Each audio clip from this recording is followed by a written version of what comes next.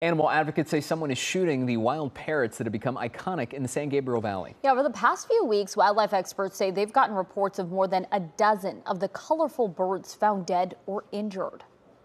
KCAL News reporter Laurie Perez joins us now live from Pasadena, where a local group helping to treat these parrots. Laurie?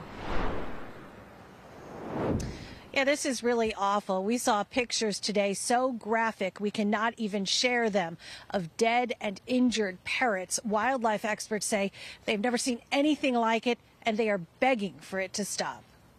Okay, so right here on this. This is the latest victim of someone who Cleo Watts says is bluntly hunting parrots in the San Gabriel Valley. She says a woman found it this morning in Temple City, telling Watts she's found five others dead in the last two weeks. Another one, another one. I'm just like, oh my gosh, this this is too much. Since late October, Watts says her nonprofit Wild Animal Rescue and Rehab Center, Cleo's Critters, has been flooded with winged patients in need of care.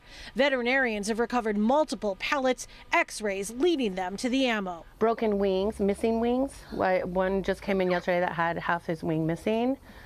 Um, broken legs. Uh, I mean, a lot of them are shot down dead. At our Pasadena clinic, Watt's team can treat some parents. The most seriously hurt are sent to SoCal Parrot Rescue in San Diego.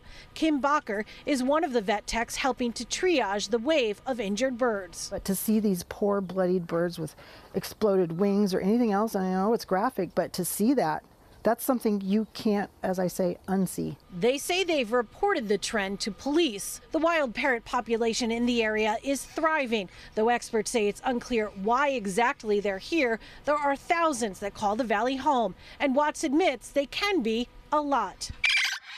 There's maybe about two, 2,000, maybe a little bit more um, that reside in the area, and I know that in numbers they are very, very loud. But some locals like Catherine say that doesn't mean you can shoot them. She was devastated to find this parrot shot down in her backyard on November 5th and heartbroken when it could not be saved. I couldn't understand why, who, what, when, where.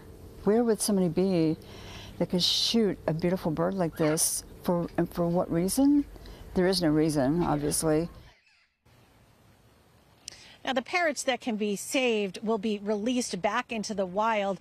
Aside from the birds, this group is worried about someone shooting a pellet gun in any neighborhood, period. They are hopeful someone or someone's security camera can catch who is responsible. We are live in Pasadena. I'm Laurie Perez. Back to you.